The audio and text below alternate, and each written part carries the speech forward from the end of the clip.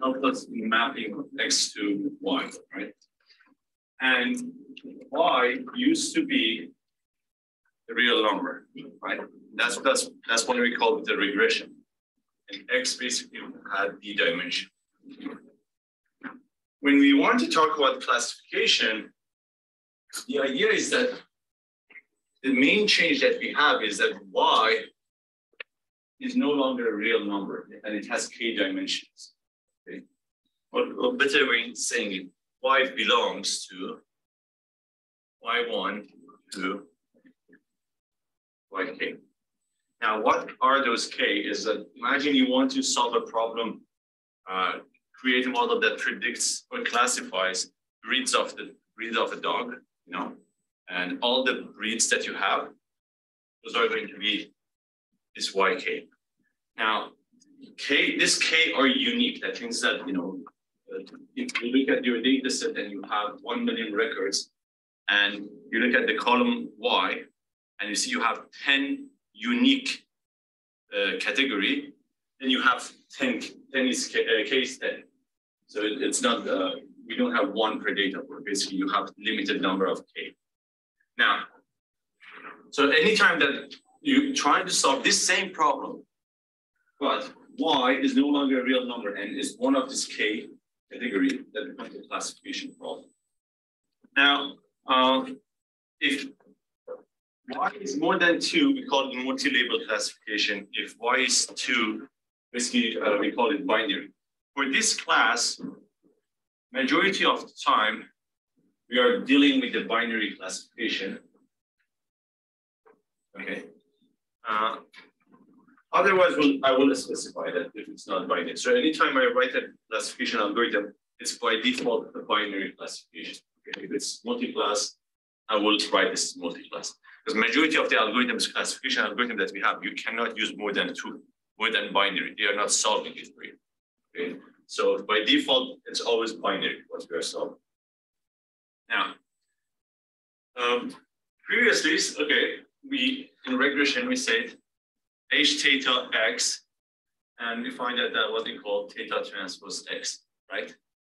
In regression, that gives us a prediction value, and we call this some either we call it let's say y hat, or we can say that almost y, right? We, we wanted to make that prediction, but classification, that's no longer the same uh, because when you have a data point and you want to say that, okay, uh, which class this data point belongs to, you know, that question is no longer uh, uh sharp, like a, a answer like this. You cannot, here we just say that this is a this is information for a house. What is the price?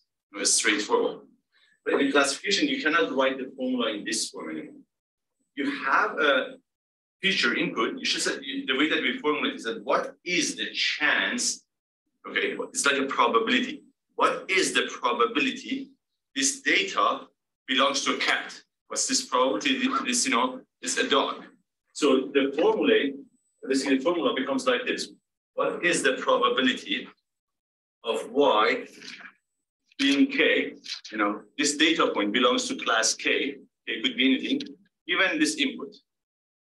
That's what we want to formulate in classification.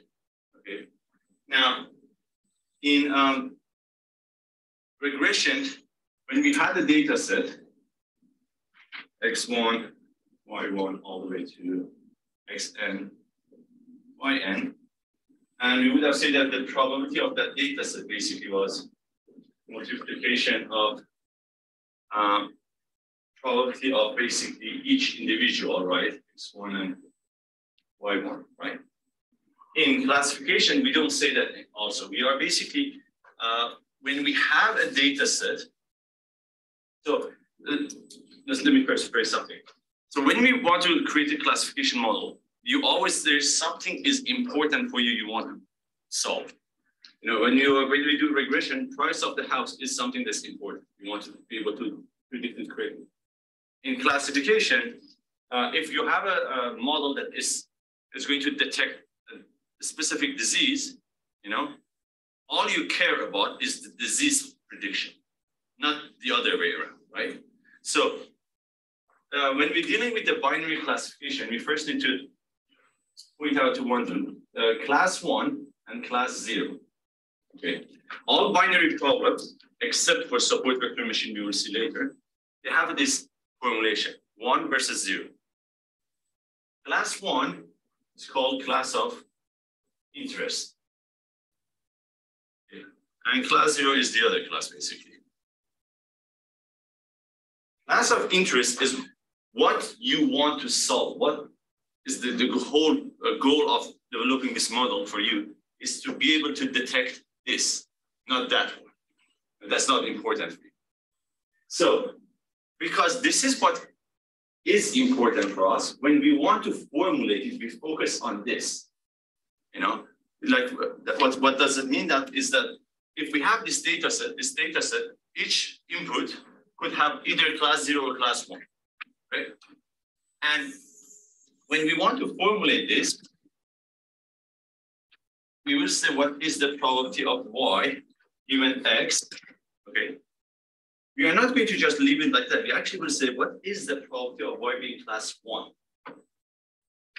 So in the regression, we simply multiplied all the individual probabilities, right? Probability of x1, y1 times probability of x1, x2, y2 times times, right?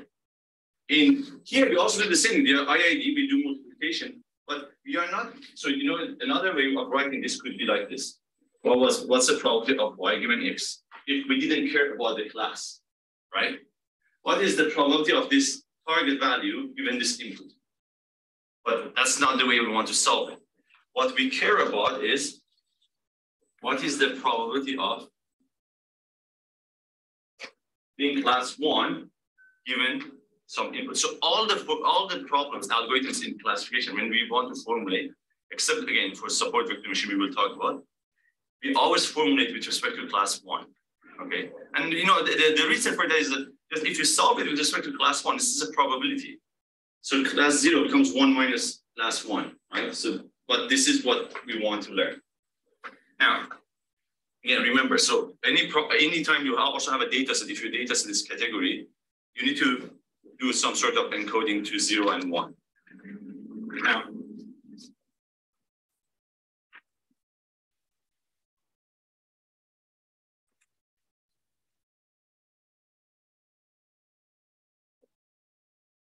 there are two main types of classification First one is called discriminative.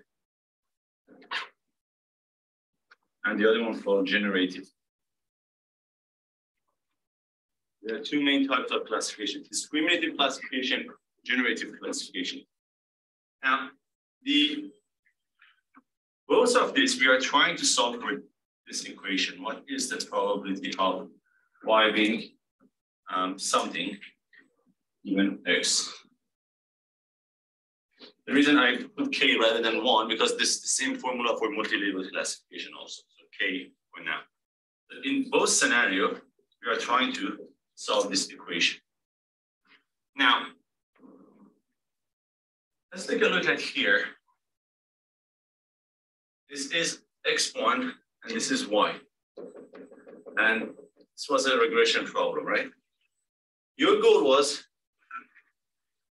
to find that line correct? That goes through the point, and every time you pass x, it makes a prediction, gives you the y value. Now, when we are dealing with classification, let's say you have two dimensions, x1 and x2. This, is the data set that you have.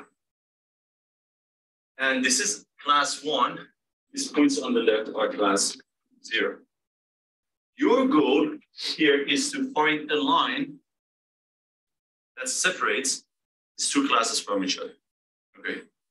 And this line is theta transpose x equal to zero. We will get to that y, that's the equation. But that's that's um, that's the line. That's what we want to find. So in order to solve a classification problem, you need to find this line. You have this line, then you can say that which class the point belongs. This line called decision boundary or decision line. So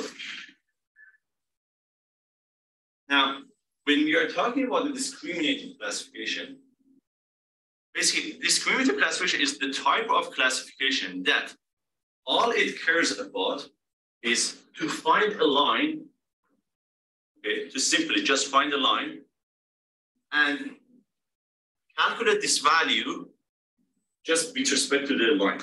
You know, if you have a line, you look at and you calculate that value. That value is either positive or negative. If it's positive, that means you're up side of the line. If it's negative, you are under the line. Discriminative classification, all it cares about is that straightforward, you make a calculation and you have a line. If it's positive, you say it's class one. It's negative, you say class zero. So any classification that all it cares about is to find a line and with respect to the line, look at the positive and negatives just by calculating this term directly called discriminative classification. Okay? So any classification that calculate this term using a uh, basically naive-Bayes theorem becomes generative classification. So because it's naive-Bayes, that means this term is the posterior and this equal a likelihood times a prior, right? So what's the likelihood is the, the reverse basically, probability of x given y equal to, and this is the prior, right? Any classification algorithm that solves this problem by calculating this term becomes generative classification, okay? Now, in both scenario, in any classification, the whole idea is that to find that line, you know, in any classification as well, neural network or support vector or whatever. If there's a line you need to find, that line will separate the points.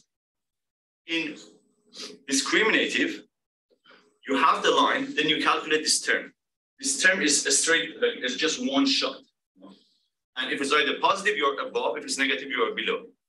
In generative, in order to calculate this, this equation, you first calculate that, then you multiply it by the prior, then you see the value is either positive or negative. Then you decide as above or you are below the line. That's the main difference these two have. Now,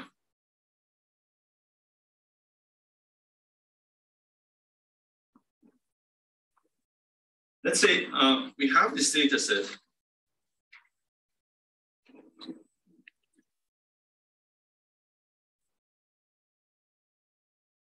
And we are interested to see that what is the probability of y1, y2 through yn given x1 through xn, or probability of the data. We are interested to find that.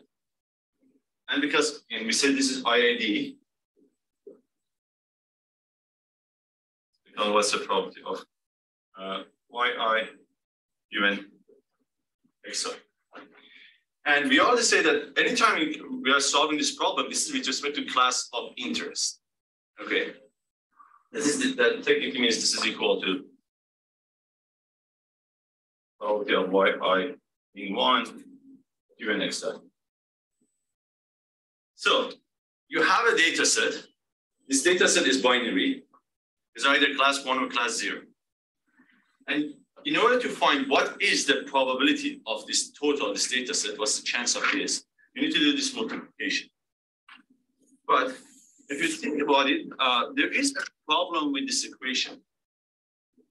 Okay, so we said here that um, with respect to this uh, basic figure, if theta transpose xi is greater than zero, you return class one.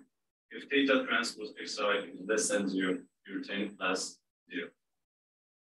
Right? That's how we, are going to solve it. It's either positive or negative. If it's zero, that's the line. That's, that's why we don't have this. So you're interested to calculate this term for with respect to class one. That means for each point, you have endpoints. For each point, you look, what is the probability this point belongs to class one? So how do you calculate that? You look at this term, right? Is either positive or negative. So that means that for some of the points, this is one. But for some point, this goes to zero, right? So you see what's the problem here? One, one times times, imagine n minus one of them is one. One of them is zero. This multiplication becomes zero. zero. So because we care, we, we solve this with respect to class zero, class one. So this multiplication, that, that means that every time, every data points we have should be class one exactly in order to dispose becomes one, otherwise becomes zero. Okay, so that's the first problem that general form of classification has, and we need to basically address. No, we will we will come back to this. Bear with this. Keep this in mind. Now, again, so this is the overall way of formulating a classification. This is what we just wrote here. You have a data set, and this term is always happening. Doesn't matter what's problem you are solving is either positive or negative. Now we want to talk about the the, the most uh, like the easiest classification. It's called linear discriminative analysis. Easiest is not the correct term, simplest. Simplest classification or LDA. So LDA is one of those classification techniques I think that's really uh, came to the game like way back in the days. Uh, the whole, we will see that the whole idea behind it is really straightforward, but it, it still is a really decent classifier. You know, it's still maybe out there from so many of the classification that there are out there. Now, uh, linear discriminative analysis. So first, what type of classification would you say it is?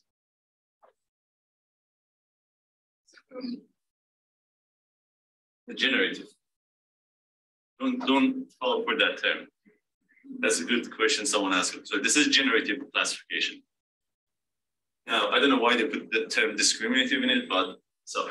Uh, so if it's generative, that means in order to calculate the probability of y being k given x, you need to have probability of um, x given well, phi is times a prior. Because it's generated. So you need to have a prior, you need to have a likelihood. Now, think about it. What is a prior? In classification, what's a prior, do you think? Uh. What's that? Training No, but what is a prior? Like, yeah, from the training data, what, what, what, how would you define it? Sum of all the class interest by total number of rows in the data set.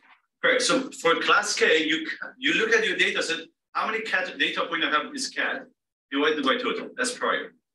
So prior in classification is really easy to calculate. You just look at your data, simply calculate all the priors that you need, right? So you never have a problem in calculating this one. The likelihood term or the density term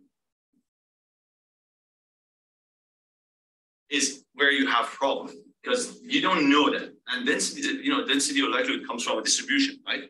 So that means that there is some distribution which you're not aware of it, right? So that means that there's some unknown distribution, you need to estimate that.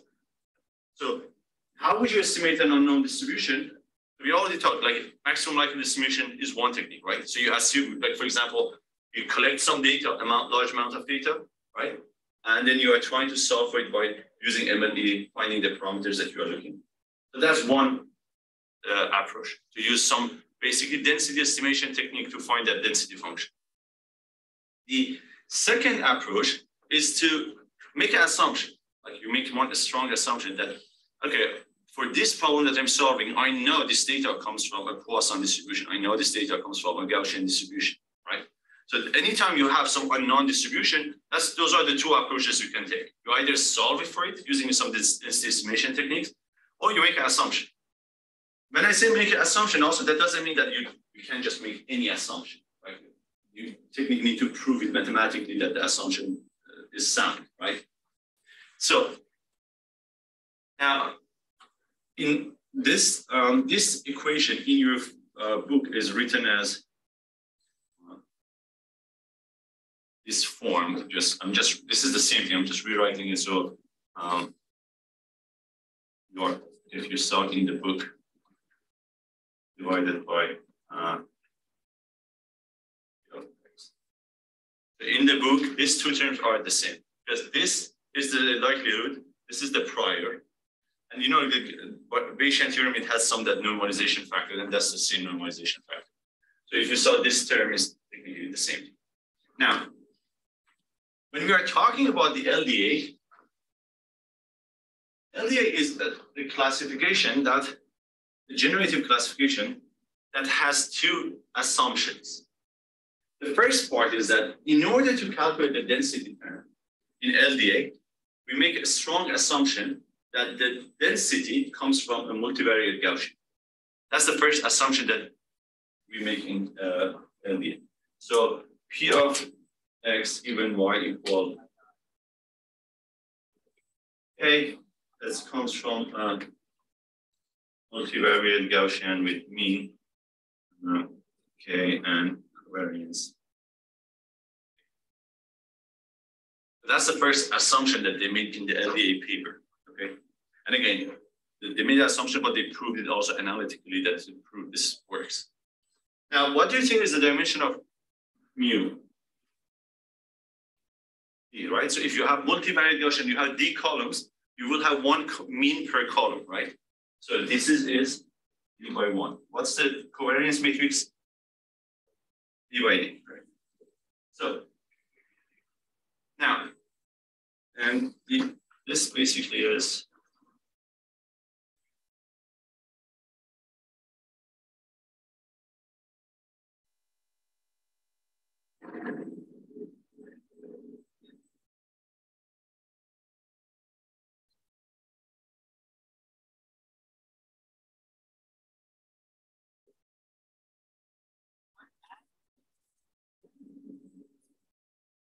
That's the multivariate Gaussian.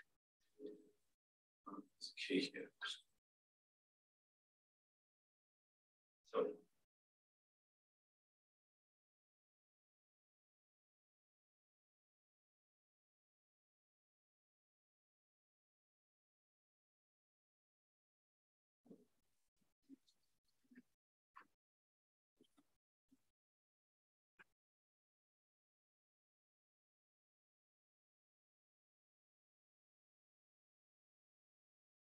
Um, x1 and x. So we are saying that x1 and x2, they are coming from a multivariate Gaussian. What was the properties of multivariate Gaussian? One was that so each of these dimension individually, they are a univariate Gaussian, right? And they have some mean, which you have the mean, and they have a variance, right? And together, if you project these points, they become multivariate Gaussian like this, which that becomes the covariance, right? So also remember the covariance for, for example, a two by two is AA, AB, right? So now that's that's just for a whole data set? In the problem that now we are solving in the classification, there is a little change over there. And is that because you have two class, right? So you typically have two clusters of data. One is that, for example, this is class zero and this is class one. So, and if you think about it, what basically this means that if you have this data set, and this data set is a table versus a chair, uh, images. What you need to do is that first split the data to separate part. Now you have data of all chairs, data of all tables. And then if you fit a Gaussian, multivariate Gaussian per class, right? You will have one like that and you will have one like that. You remember we, we had in the first class, we had this uh, a mixture of Gaussians. Right? If you have two Gaussians like this together, this is one Gaussian. And the larger Gaussian, this one, was basically some weighted sum of each of each individual uh, uh, basically Gaussian, right? That becomes mixture Gaussian. So in the scenarios like this, your data, so this is multivariate Gaussian, But this technically is a mixture of Gaussian, what, what it calls, because we have, because it's classification, you have different Gaussian data distribution, and together is a mixture of Gaussian. Now, you're interested, basically find that line again that separates from each other, right? Theta transpose x equal zero. Now, let's talk about that line, decision line, decision boundary. If I ask you, hey, how would you describe, if I just give you this line and I'm asking you that, how would you, in a lame language, describe that line? What would you say? Don't say the line that separates classes from each other. No. What, what is the definition of this line? The negative slope that's not set at Right, but so let me rephrase my question. How would you, if I ask you that, how would you define this? No, it doesn't have means. It's a line, right? Like, uh, what is the definition of a normal any line? Twenty-two points. Slope should be constant. Not two. Any points which are present so that it can get A line is set of points that you connect them together, right? That's the line, right? So this decision, the decision line, decision boundary, is a line. That means these are technically a set of points. It's not otherwise line doesn't mean have any meaning, right? Set of points you connect them together. So the definition of a set decision line or decision boundary in classification is set of points that probability of belonging to both class are the same. Okay, that's the decision boundary. These points, either it could be class zero or class one. The 0.5, the probability of belonging to both class is the same. So set of points, basically, x and y, set of points, that probability of x, um, probability of y being class one given x is the same as probability of y being class zero given x. That becomes decision line. And that holds for all sort of classification that you want to solve. Always that line, that means that any point that in, on that line doesn't cannot belong to uh, any uh, any class, you know. And remember, this should be the probabilities are the same, you know. So because this is probability technically means 0.5, right? It should be 0.5, 0.5, because completion should go to one. If you say probability is zero, then one becomes zero, the other one becomes one. So it should be exactly 0.5. So Probability of all the points lying on this line is zero point five. exactly. So that because if it's 0.49 and 0.51, you choose this one. It should be exactly 0.5 to, be equal. And it cannot be zero because probably on one class zero, the other class is zero, that's wrong. It should be one minus the other one becomes It's basically neutral, it's not normally. Exactly. That's, that's it. So probability of both class is the same. So that's the decision boundary. Now, what we want to do is that we want to use this definition, okay, to find that decision boundary for LDA problem. Because we say that in any classification, doesn't matter generative, discriminative, your goal is to find a line, right? So we know the definition of a decision boundary basically means that probability of this term should be probability of this, right? Right? That's the term we want to solve. Now, in LDA, we know what's the probability of y being one given x. That comes from this times this, a likelihood times the prime, right?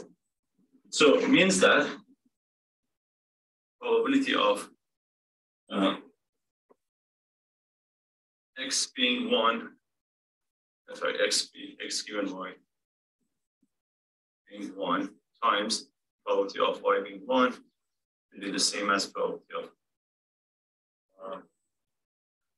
x even y equals zero. Okay. Now,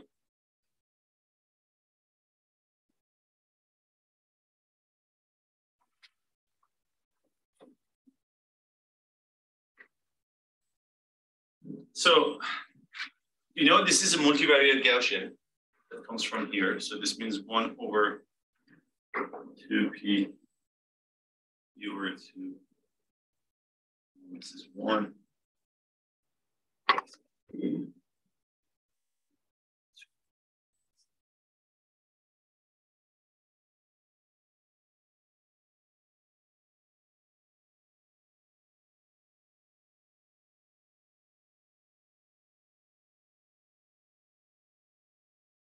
So that's the first term. For, uh, for the prior, I just use the same thing. Like a pi of one doesn't matter. because that's and this is equal to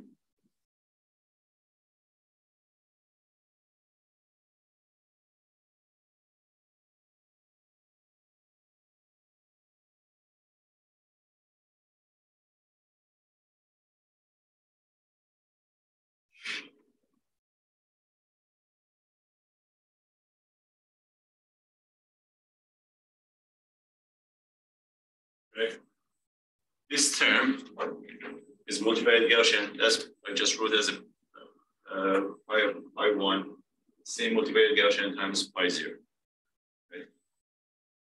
So now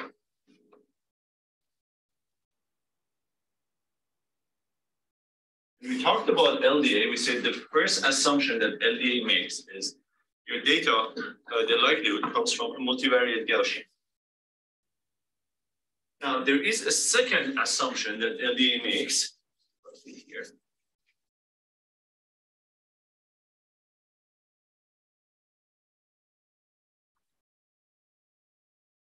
Second assumption, basically.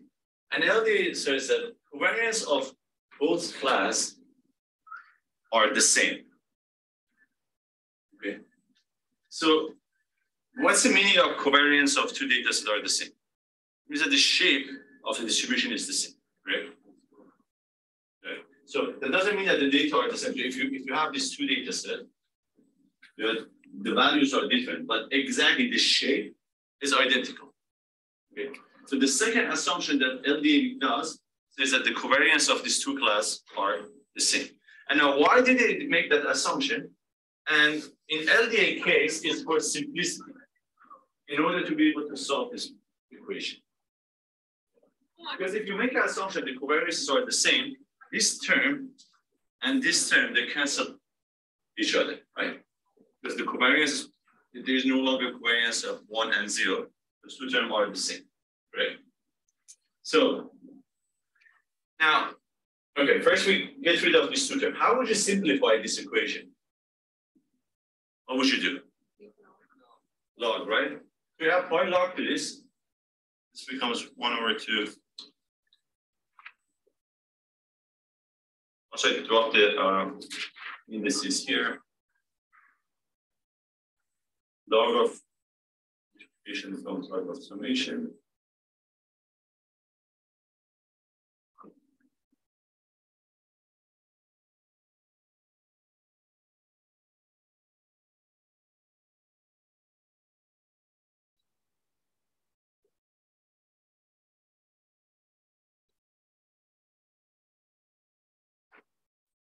Make sense so far? So now what you need to do is basically bring the equation to the other side. Um,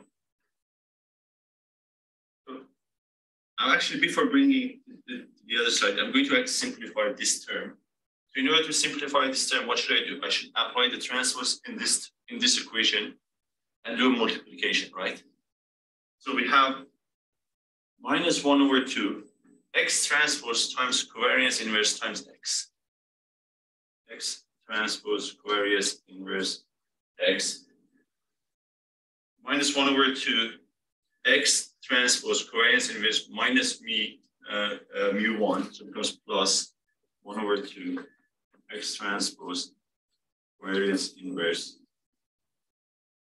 mu 1 then this one times this one it becomes positive times this times that becomes plus one over two mu one transpose variance inverse x one. And this becomes a negative term becomes minus one over two mu one transpose variance inverse mu one plus log of p1. Now I want to also simplify this term to take it to the other side. The first thing is that, wait, does this make sense, this multiplication? So all I did, apply transpose to this term, becomes x transpose minus mu transpose, and multiply element-wise by this, by that. And expand it, becomes that one, right?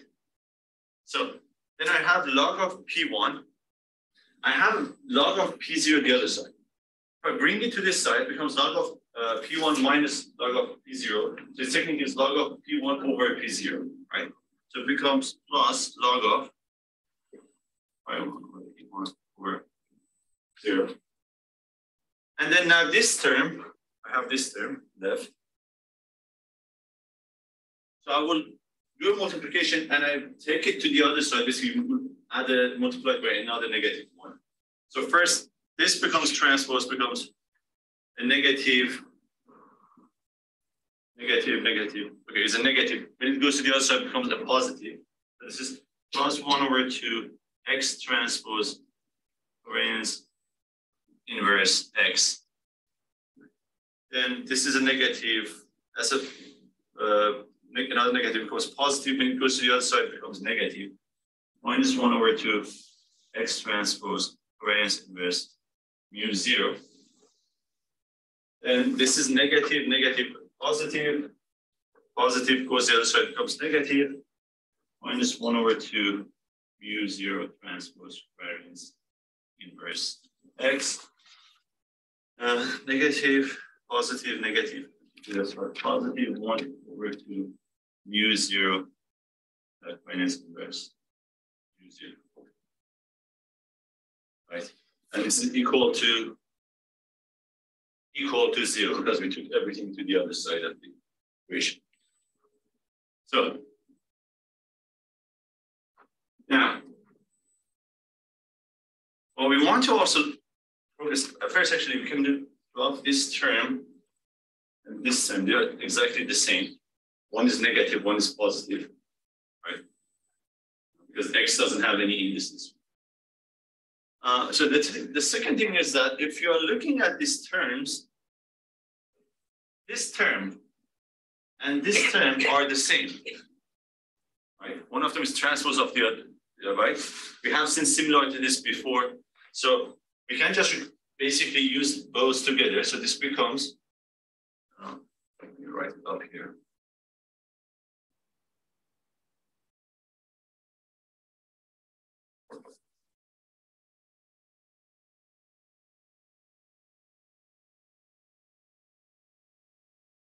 That becomes uh, X transpose mu. Again, this term and this term are the same term. Right? Uh, minus 1 over 2 mu1 transpose covariance inverse mu1 plus log of the here. Here also the same. These two terms are the same this one and this one. If you apply transpose on either, gives you the other one, right? So this becomes um, minus x transpose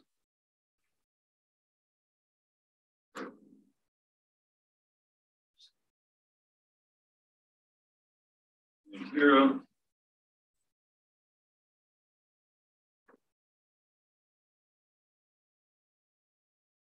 we have plus 1 over 2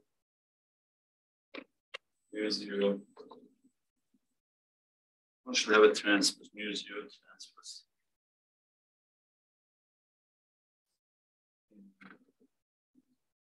Zero.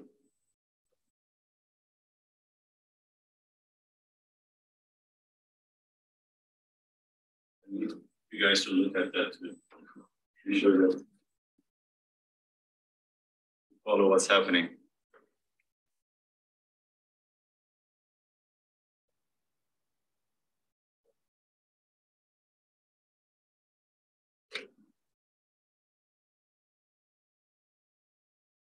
So now, does this make sense?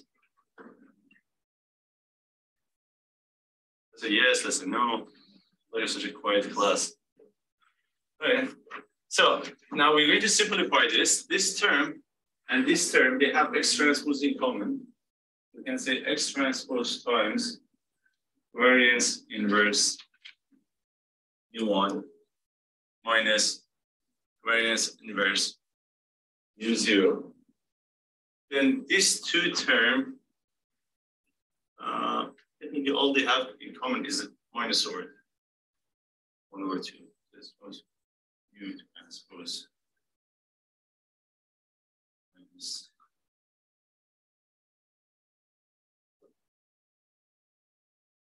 Yeah, and then plus that log one of zero zero.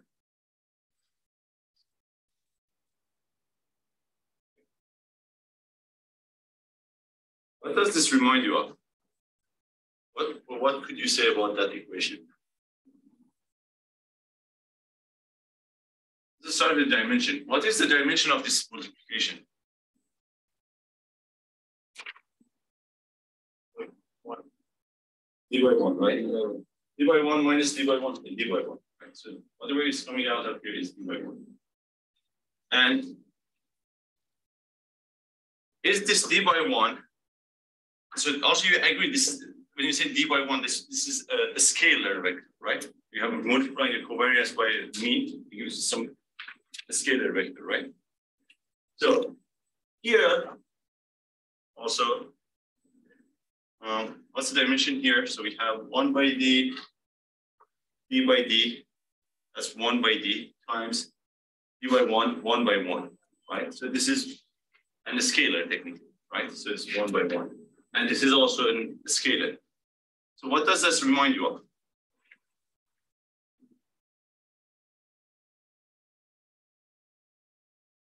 X times a vector, and a scalar vector, minus some basically constant, some constant. Right? 8x plus b equals zero. What's that? It's the equation of the line, right? X is your data point, your vector, right? You already have these terms like the covariance and the mean. You multiply your uh, data point by some scalar vector minus some constant value equal to zero. And that's the decision boundary. And that's, that's how we solved it, right? in order to reach this equation, what did we do? We wrote set of points that the probability of both class one equal, right? We said probability of y being one given x is the same as probability of y being zero given x. Then we said in LDA, you calculate this probability because it's generated as likelihood times prior. Likelihood times prior equal likelihood times prior for class, class one and class zero. Then we expanded we made a second assumption that the covariances were the same. So you get rid of some of the uh, basic indices, covariance indices, and we just expand this term, that multiplication. And we took everything to the other side of the line. After you simplify it, all you reach is the equation of a line. Right? So that's what you call linear discriminative analysis. The, the decision bound, decision boundary or decision line is simply a linear line. Okay. Does that make sense? So this is LDA, and this is like one of the simplest classifiers. Um, now,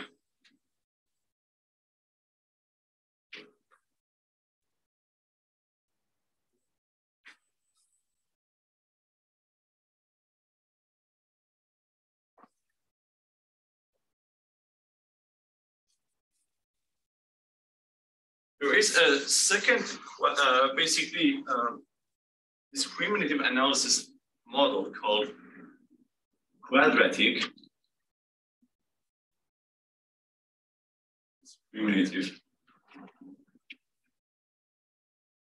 analysis. QDA.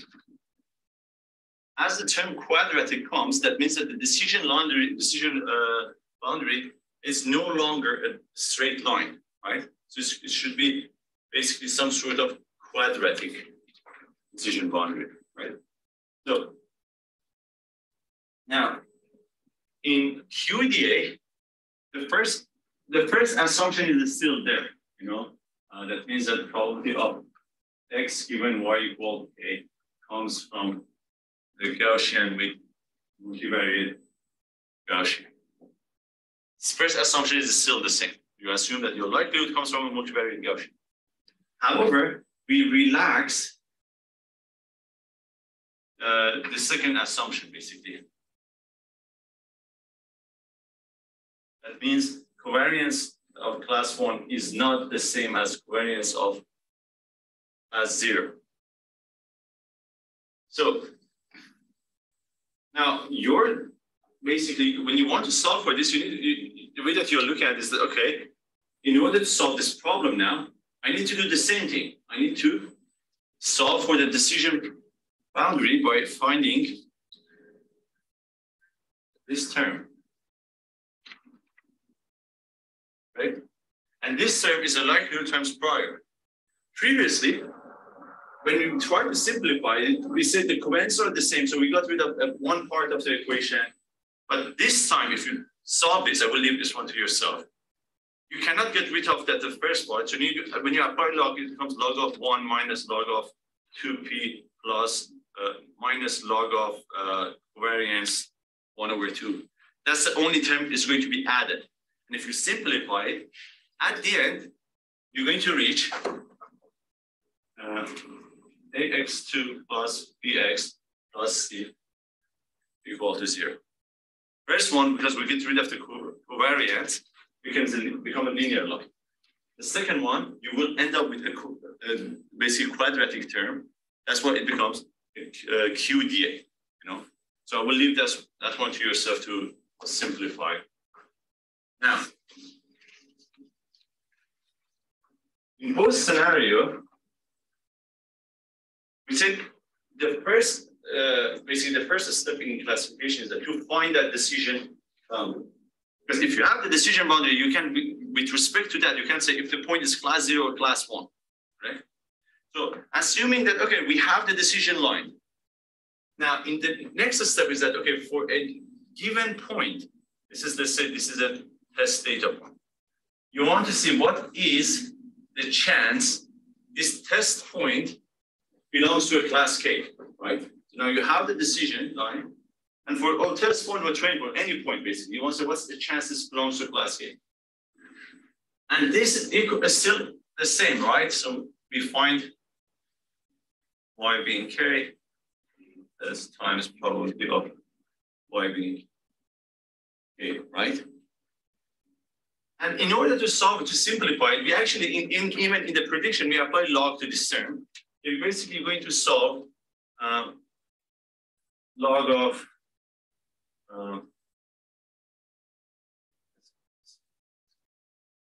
actually, so going to be log of one minus log of minus log of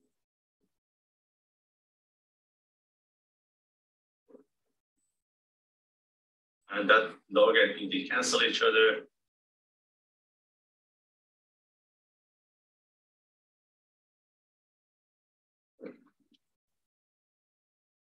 And then there is a term log of PK.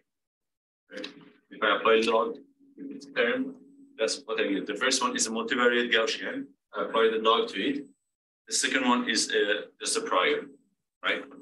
So in order to make a prediction for any, any points, you calculate this value. Now, let's go back to LDA first.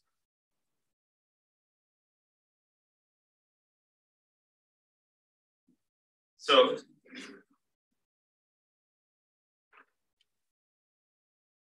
in LDA, when we wanted to find the decision line, we said, okay, the covariances are the same, right? So we, we got to the equation of the line. But for the in the prediction step, we have a covariance term. You need to have a value for that, right? So in LDA, when we want to solve the prediction, we assume that the covariance is just identity matrix, right? Just assume the covariance is identity matrix, one basically. If you put one here, so this term goes to zero basically, right? Uh, so this one, basically log of one also goes to zero, right? Covariance is one. Inverse of one, that's also just one, right? So this term basically becomes minus log of this defend comes behind this minus log of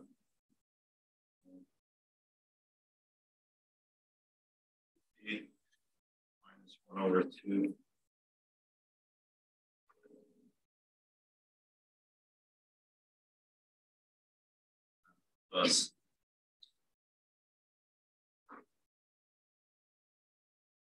Right. So in LDA, when we want to make that prediction, we first, because we already made the assumption the covariances are the same. So how, that means that the covariance shouldn't have any impact in the classification. So we want to get rid of it. The easiest way is that to put the covariance as identity matrix, all the terms will disappear, right? So now let's look at this term. This is probability of y being in class given x.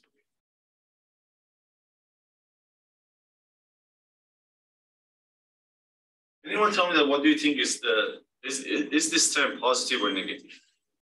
Solve it for any value.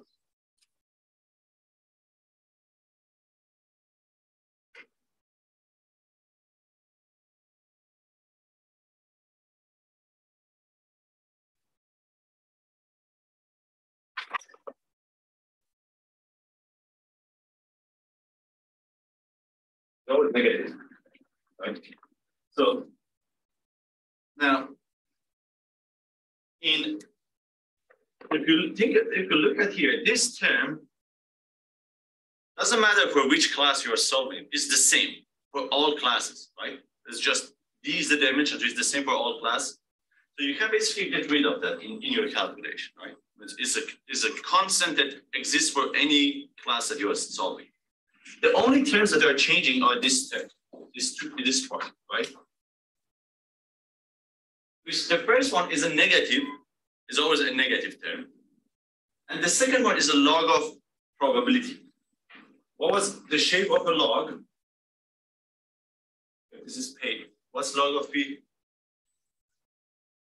Right, so it's from here to here, right? Zero to one. So log is always negative. Doesn't matter what's the probability. So that term is always a negative itself, right? So when you are calculating this, right, it's, it's giving you a negative value, right? So now, let, us try to break it down, see what, what's the meaning of that. So we have class zero, we have class one, okay? So in when we were talking about the decision boundary, and actually, when we were talking about the decision boundary, I said our goal is that to find this decision boundary, right? But for in the discriminative classification, you simply calculate a value and you say if it's positive or negative, you make a decision, right? LDA is a generative classification, right? I said it's no longer like that. You basically, in order to find the value, you multiply the prior times the likely. Okay.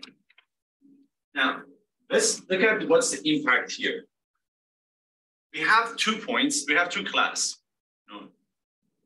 Class one, class zero. That's the mean of the two class. Imagine like in, in the 2D scenario. This is one new data point will come here. X test and you're interested to see which point this belongs to. Based on the probability concept here, this equation, what you need to do is that, so what does this term remind you? X minus mean transpose times X minus mean. Right, Euclidean distance, right? So you simply, you have the means for each class. And it's d by one, right? These are d by one. This is d by one. Your input also is d by one, right? So you do po points minus mean, right? Centralize them times dot product. So that gives you Euclidean distance, right? So this becomes, uh, let's say, um, distance two, distance one. Now you have two distances. But it tells you in order, if, if, we, if we just ignore the formula and we, we have a distance and we want to make a classification, you would have said the one that has, has a lower distance, point should belong to that. Right? But in the generative, we don't stop there. We have that log of prior. The log of prior, so let's make an example. Let's say um, you have uh, prior for cat, prior for cat is 0 0.4, prior for dog is 0 0.6, okay? And this is cat, this is dog. And you, you get one new point, okay? And you calculate this Euclidean distance, and you find out, let's say the Euclidean distance for this side is minus 0 0.3, and this side is minus 0. Point, uh, the distance is not minus, it has a minus behind it, but that's what I mean. So minus 0 0.6, okay? So one of them is further. Again, the minus comes from this term, otherwise the distance is positive. Now, this LDA or generative approach tells you that in order to not make a decision, sum this term plus log of the prior, right? Can, can using your calc calculator, tell me what's the log of 0.4 and log of 0.6?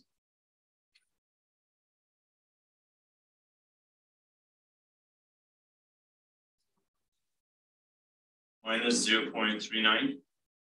And the other one?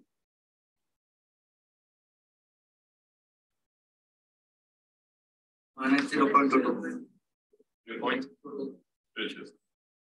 So now you need to sum these two values, right? So minus one over two times this becomes minus, basically becomes uh, this value minus 0 0.39. And this is minus 0 0.454, right? And the other one is minus 0 0.3 minus 0 0.22 minus 0 minus 0 0.52, right? So you're trying to find the, is a distance, right? So which one of this is closer? Technically, is this one, right? So when you want to pick the value, now you are going to pick the dog because based on the distance for that one data point, you're closer to this. But generative probability tells you that don't just look at the distance, look at the prior. What is actually the chance being dog based on the data versus cat? So see, the generative probability, first you, you find the likelihood, then you look at the prior, and then you make a decision. In discriminative, we will see we don't have this. We only calculate the likelihood, which is, for example, the distance, and we make a decision based on that. We, we don't care about a prior concept. Is that clear? Okay, so now, so this was for LDA that became aligned. Now, in um, when you are working with QDA, because we don't have the, like we cannot just drop the covariance anymore, so you need to calculate the covariances. So um, let's say covariance of class K is this one over NK summation of I minus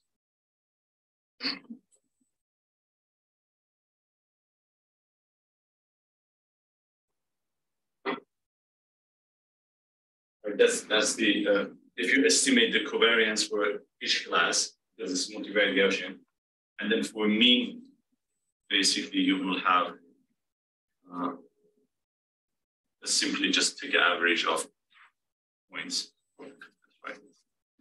Summation of xi over okay, where i is uh,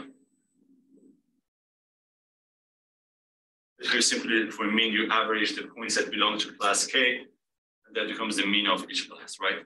For covariance, you need to calculate, and this is for I where points belongs to class K, not for all points. So in QDA, you need to, and again, this equation is comes from your book. You know, the, that's the equation for the covariance and mean of multivariate. And that's a bias estimate of the covariance also. But anyway, so you have this system, and the prior is simply basically uh, summation of uh, points uh, over the total data points that you have, uh, where I, that becomes the prior, right?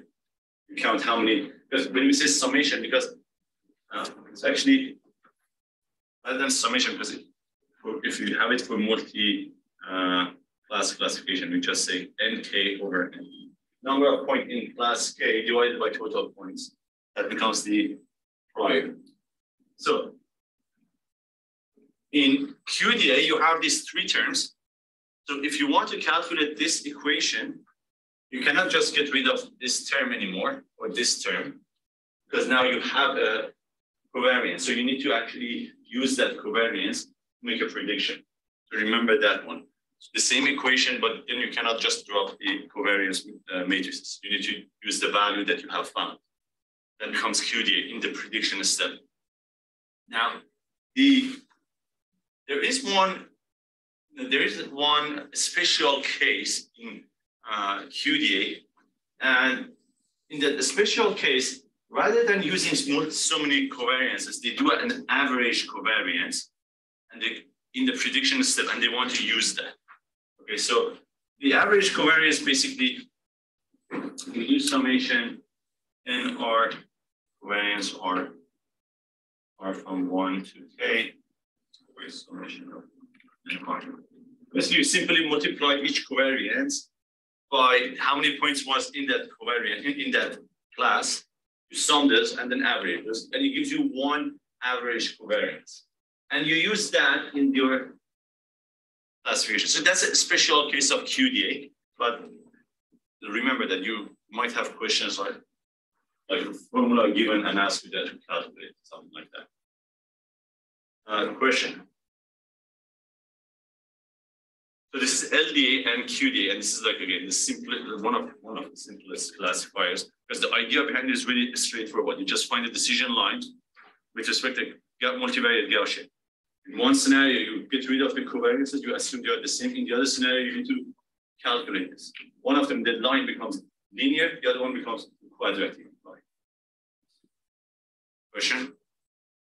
Okay, so. Can you give an example of a data set where we can apply this, uh, the quadratic one?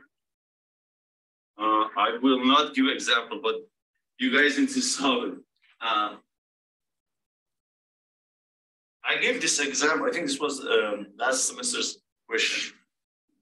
So last semester, I'm going to tell you how was the exam. So in case you want to practice, I give you one data set in your in your exam, like 10 data points, 12 data points, 20 data points, and I give random questions. Like one of them is linear regression, one of them is uh, LDA, one is QDA, one is logistic regression. And randomly, each of you get one of those. So that's the whole idea. So a lot of the students are like, I didn't practice this one, I didn't say that's on you. You need to know all those. This, we are going to learn for midterm six uh, algorithm, linear, QDA, LDA, logistic regression, naive Bayes, and then there's another one classification. So you need to basically be able to, even if one data set, solve it manually. You know, that's uh, that's all I'm telling you. That's your question is going to be exactly like that. So don't come to exam and say that I read linear regression, I forgot neighbors. No, I'm already telling you that you need to know all six. and you need to be able to solve. Start practicing. If you have a question, then come to us. I'm not going to give a question to go solve. You can. Internet is full of data set. You can generate a random data set and just simply manually solve it. So.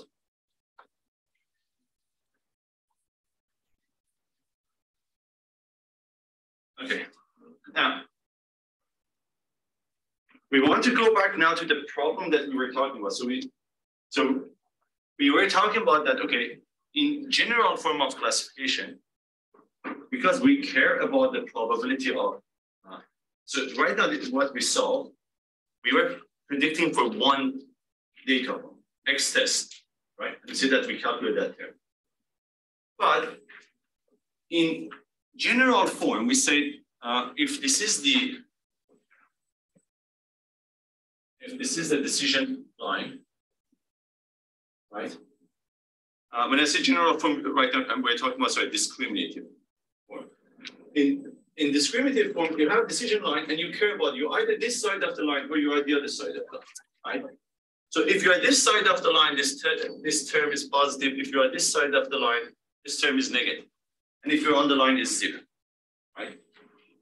And if we want to formulate that, basically we will say that if this value is greater than zero, y is one. If this value is greater than less than zero, y is zero.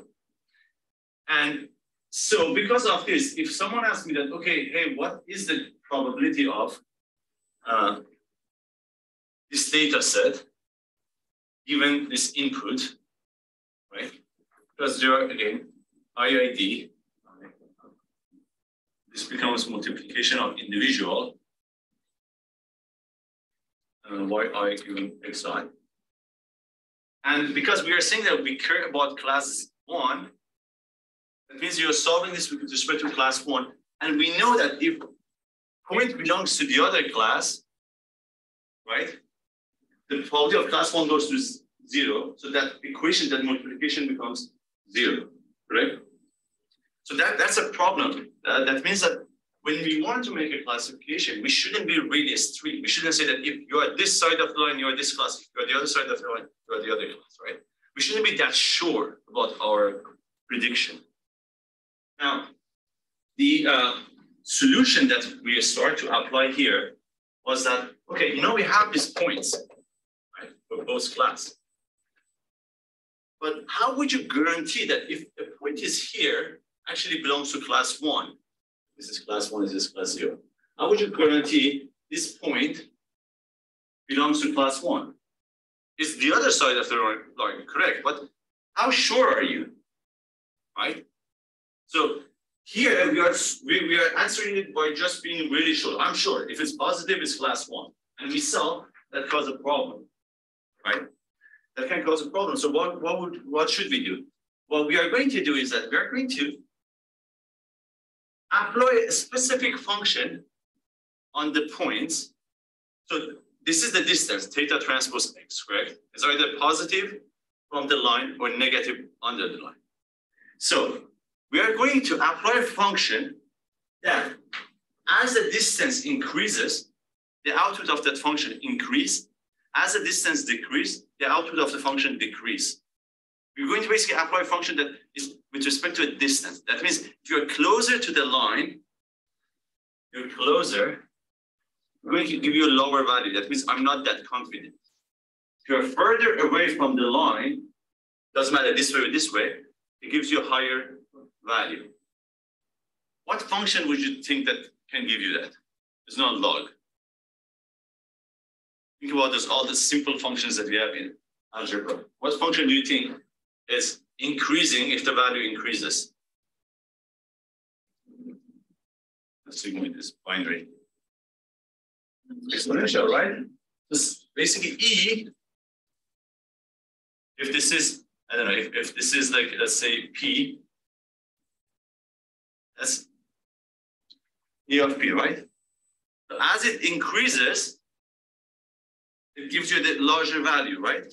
So we know that if we apply E over the distance, as the value of distance increases, or that's because we are further away from the line, E is going to give us a larger value, more confident. And it, as we're closer to the line, as we get closer to the line, the value is going to be smaller. So first thing we're going to do is that we're going to apply E to this term, to this equation. We're going to, let's say, apply, apply E. So this becomes e to the power of theta transpose x, e to the power of, um, so it becomes negative theta transpose x. In order for math simplicity and also for in order to sum properly, we're going to add 1 over 2 theta transpose x. This 1 over 2 theta transpose x. So the first, again, 1 over 2 is just because we want to sum of this 2e to be the same to some uh, complete each other. And negative is because one of them is the negative side. You know, the other one, this one has a negative distance. You multiply it by a negative, right? The other one has a positive distance. So it doesn't need that negative there.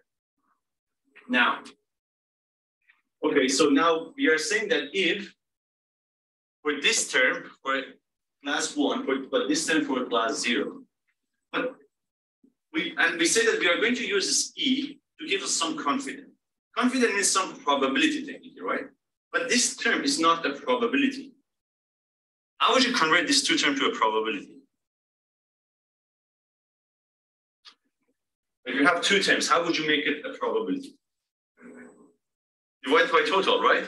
So all you need to do is that basically, let's say define one over z e theta transpose x and 1 over z e minus theta.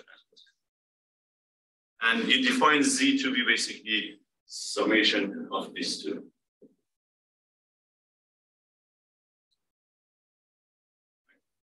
Now, now you are sure this is a probability. That means that every time you pass to this equation right now, a, a value, uh, and says that, hey, which class this belongs to, it doesn't give you one or zero, it gives you a probability. I'm 60% sure this is class one. And class zero becomes one minus 60% is 40%, right? So the, the you basically, this type of model, they allow you to make a decision. Okay, if, well, we're gonna get back to, uh, let me first write this. And I'm gonna see what that decision means probability of y being class one given x, that's equal uh, one over z. And probability of y being class zero given x.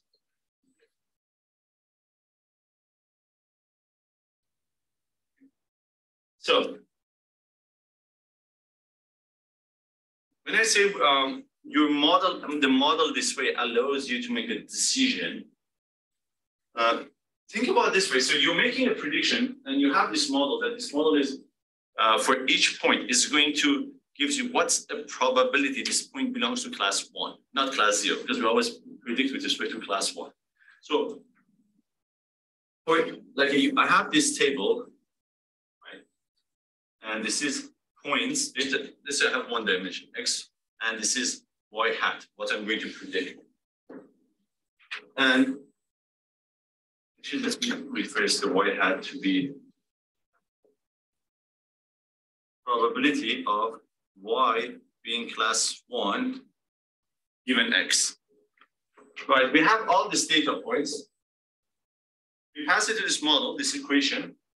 We already this is assuming that we already have found that theta. Okay, that we this theta we have we haven't got to that point. Let's assume you have the theta, you have this model right now.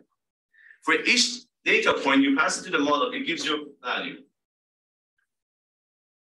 1, 0 0.2, 0 0.0001, and so on.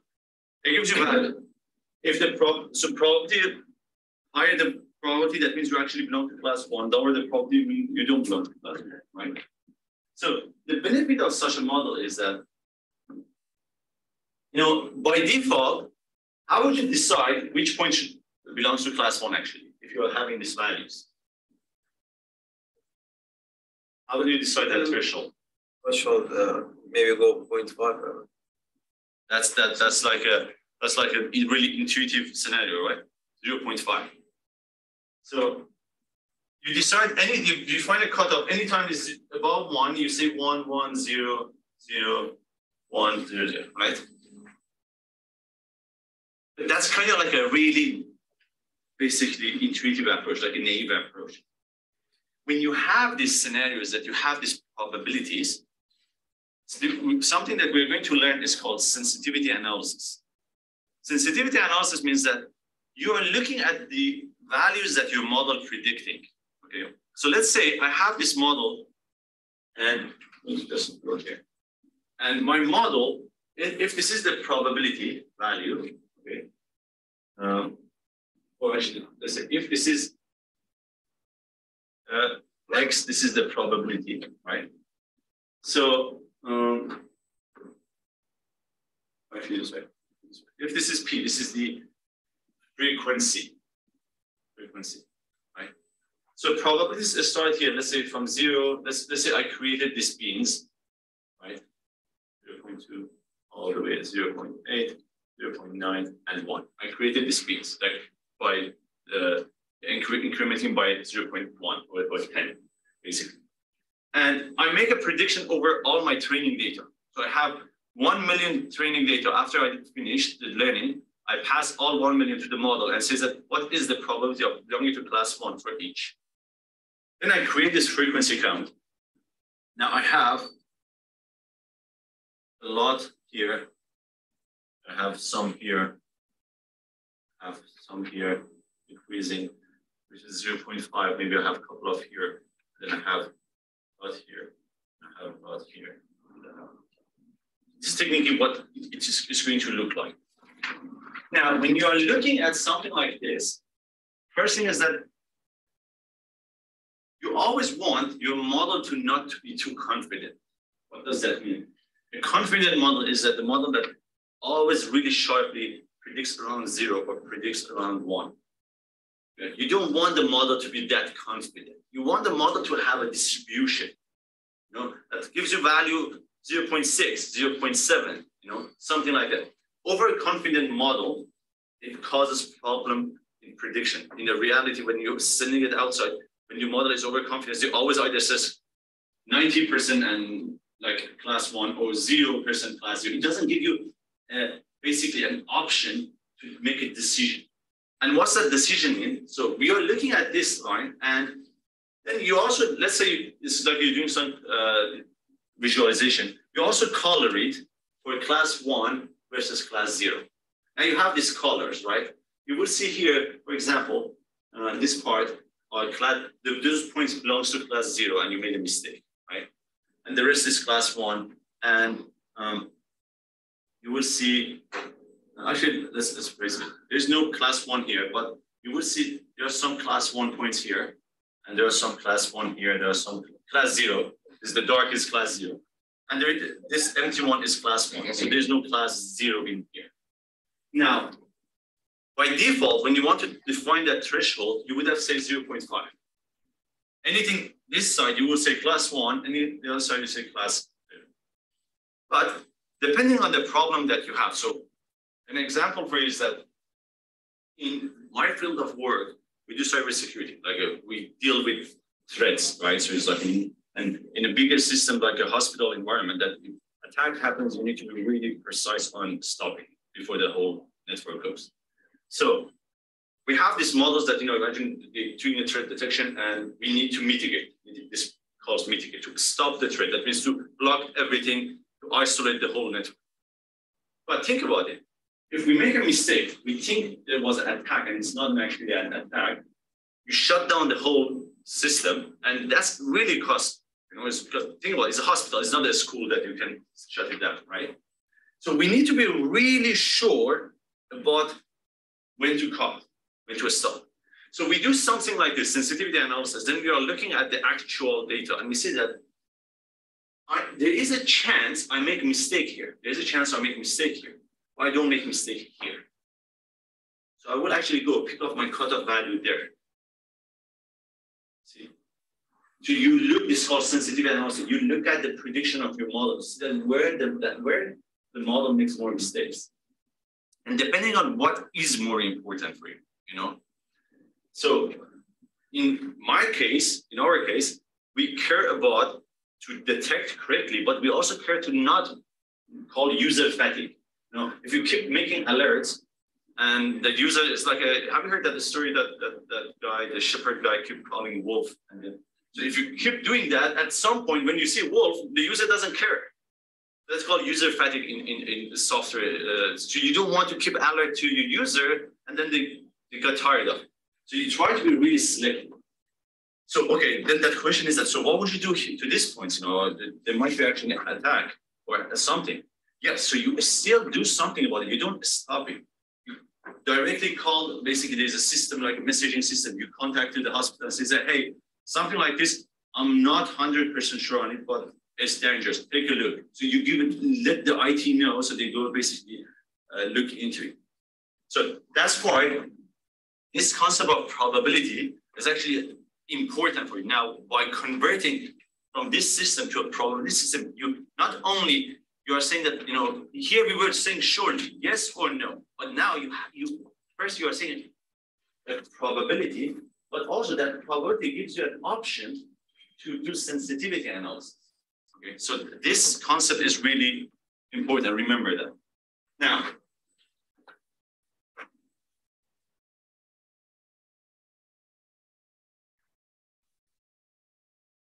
Okay. Uh, here. So I'm going to just write this term with respect to class one now. Probability of class one given x. We said this was equal one over z uh, e to the power of one over two theta transpose x. So then Z is basically this one plus the other one. So this is one over two theta transpose X over theta transpose X plus e to the power of minus theta transpose X, correct? So now simplify this. So this becomes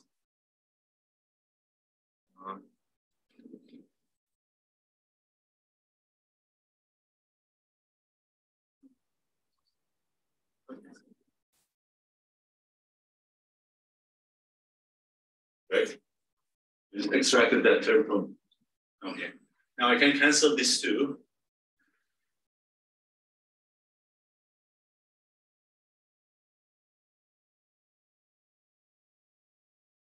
Who knows what's that function?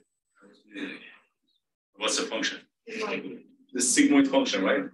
It's a sigmoid function. And now what do you think is this classification? Logistic regression. The way that we basically developed logistic regression was that to formulate the simplest scenario for classification, the decision line, if you're up or down, you're class one or class zero.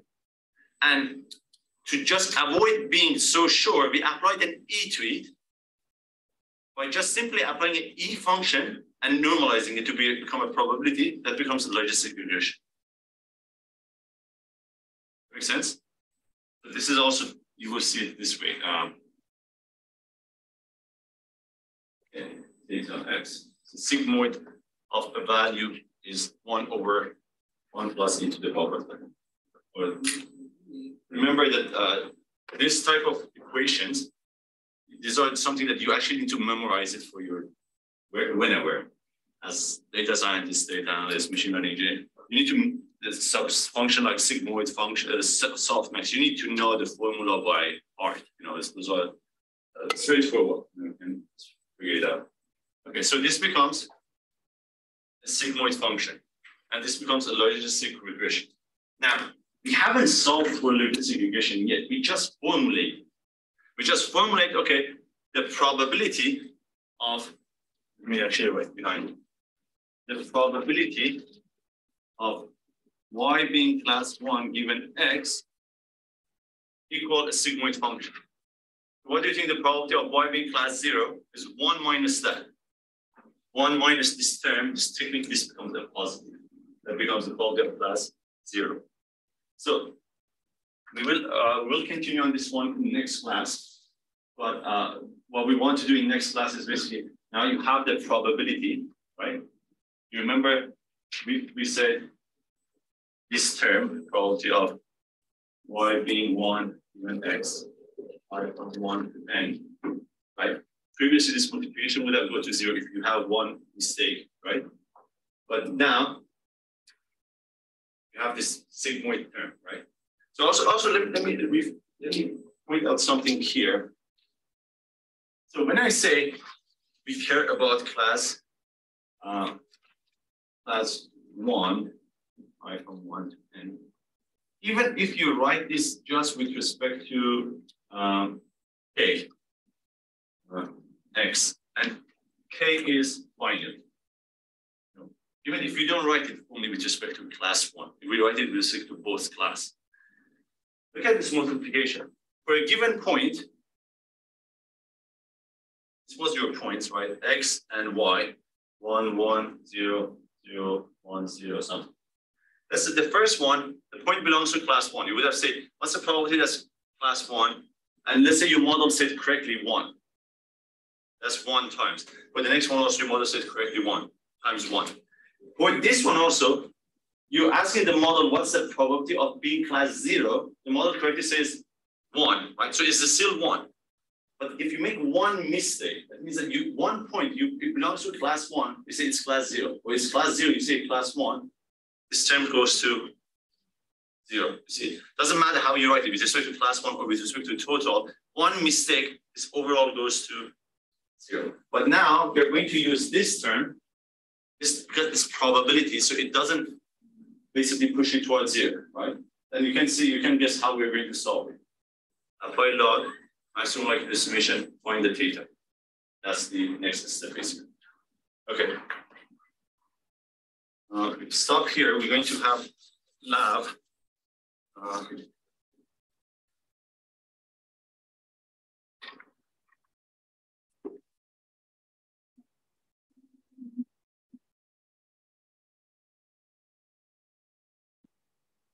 take a five minutes break.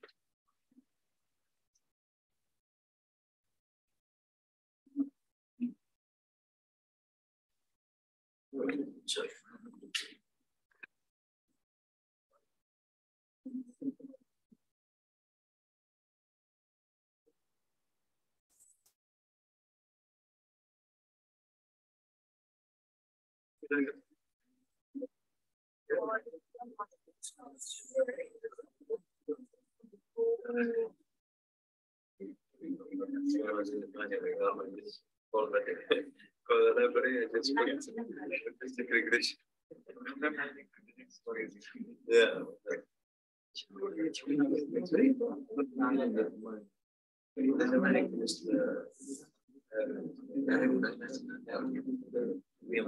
Yeah.